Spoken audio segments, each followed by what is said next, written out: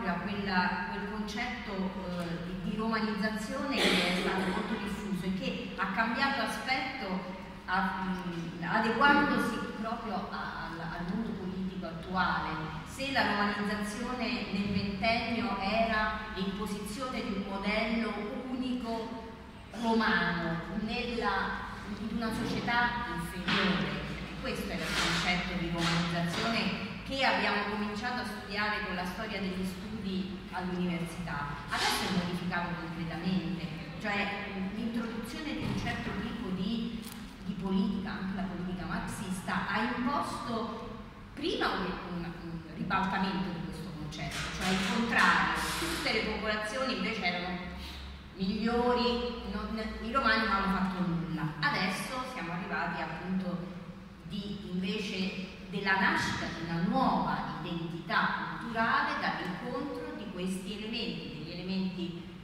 latini, perché poi non esiste il romano appunto, di questi elementi latini con le altre popolazioni del, che, che popolavano l'Italia di quell'epoca.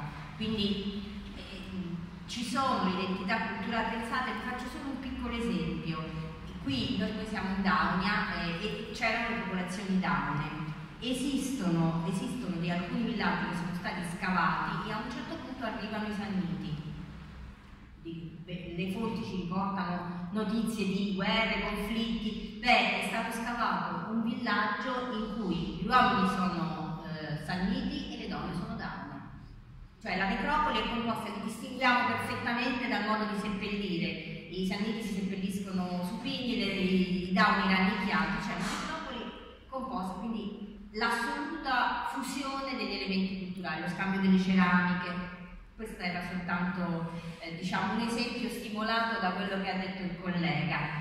Invece eh, quello che eh, vorrei presentare oggi è eh, un discorso invece di come le comunità ricercano